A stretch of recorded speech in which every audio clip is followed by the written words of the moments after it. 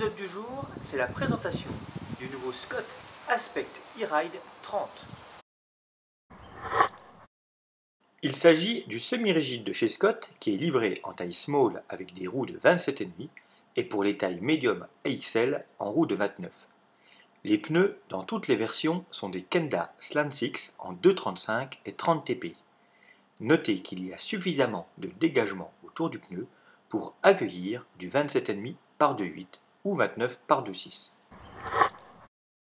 Côté moteur, Scott a choisi le plus puissant des quatre moteurs Bosch avec le Performance CX. En l'inclinant légèrement, les bases arrière ont pu être raccourcies pour gagner en nervosité et maniabilité tout en conservant une bonne garde au sol. Au niveau du pignon moteur, faible coût d'entretien avec un 16 dents non déporté et une chaîne qui passe suffisamment loin du pneu pour ne pas se charger de boue au premier passage dans le gras.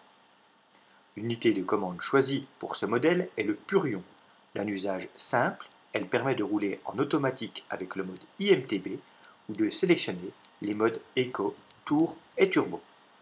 Le vélo bénéficie aussi d'une assistance à la marche. Il vaut mieux accompagner un vélo de 20 kg que de le pousser dans un passage difficile. Pour démonter la batterie, c'est très simple. Vous avez besoin de la clé. Notez que le vélo est avec deux clés. Ensuite, vous soulevez le caoutchouc qui est là-haut. La clé. Et là, il vous suffit juste d'appuyer sur la languette, glisser sur la batterie pour retirer celle-ci du cadre. Et là, vous tombez sur la prise, directement sur la batterie pour pouvoir recharger cette dernière avec le chargeur 2 A fourni. Notez que vous pouvez aussi recharger la batterie en la laissant monter via une petite trappe magnétique sur l'avant du cadre. En termes de finition intérieure, notez que les faisceaux sont bien maintenus à l'aide de bandes velcro sous la batterie. Pour la remonter, eh bien c'est la manip dans le sens inverse. Vous avez besoin de la clé pour pouvoir tourner la serrure dans l'autre sens Sinon, eh bien, ça tape contre le loquet. Et ensuite, vous n'avez plus qu'à clipser celle-ci, à remettre le caoutchouc en place. Pensez également à retirer la clé. Sur le cache de la batterie, vous pouvez fixer un porte-bidon ou tout autre accessoire. Charge maximale à transporter 1,2 kg. Vous allez pouvoir prendre de l'eau. La suspension avant est une RockShox Judy avec plongeur en aluminium anodisé noir, la grande classe. Une seule valve d'air gère les chambres d'air positives et négatives. Pour un usage e-bike, RockShox préconise 10 PSI supplémentaires par rapport au tableau des préconisations des pressions. Un axe de 15 mm au format boost lui confère une bonne rigidité frontale et latérale.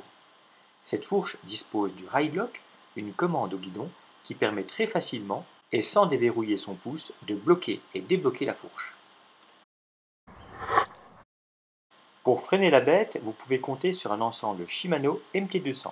C'est loin d'être le frein le plus haut de gamme de la marque Nippon, mais il reste très simple d'entretien et très efficace sur le terrain de jeu de cet aspect ride Notez l'intégration des durites, gage de fiabilité et limitant l'arrachement.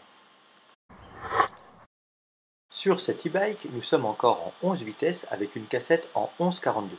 Braquet largement suffisant pour l'usage. Pignon de 16 dents côté moteur, Chaîne avec attache rapide, une transmission NX11 signée SRAM, certainement l'une des plus présentes sur les VTTAE en 2018, associée à des manivelles FSA en 165 mm, idéal pour débuter. Côté périphérique, poste de pilotage synchros, 30 mm d'amplitude de réglage côté potence, des poignées ergonomiques confortables avec une très bonne répartition des appuis, une selle racée peut-être un peu trop, peau de chamois impérative pour un minimum de confort. Pas de tige télescopique d'origine, mais le cadre est prévu pour recevoir un modèle intégré comme les versions les plus haut de gamme de la marque. Notez que ce vélo est livré avec des pédales plates, que le cadre dispose d'une protection de base en plastique souple et cerise sur le gâteau, le serrage rapide arrière dissimule une clé à laine de 5 mm et du coup la possibilité de choisir la position du levier roue serrée.